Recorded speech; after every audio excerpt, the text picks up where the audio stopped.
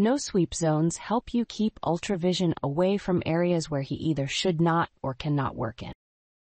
These can be areas with loose wires or small objects that can be picked up by Ultravision, but shouldn't. Or areas where Ultravision can repeatedly get stuck. The bObsweep app supports two types of no-sweep areas. No-sweep zones, where you will draw a rectangular area that Ultravision should not enter, and no-sweep lines, where you will draw a line that Ultravision cannot cross. To draw a no-sweep zone or line, first go to Map. Click the Edit icon to view the Map Edit toolbox.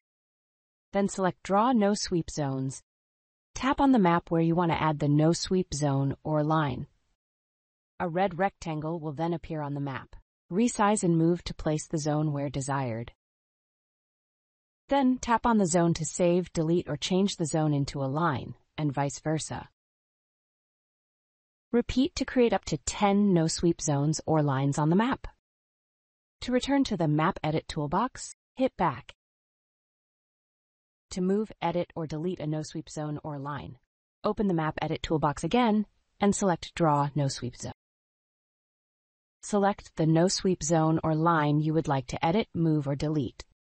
Make adjustments and click on the zone or line again, then hit Save or Delete. If you need additional help editing your map or using Ultravision's app, please get in touch with our helpful support team.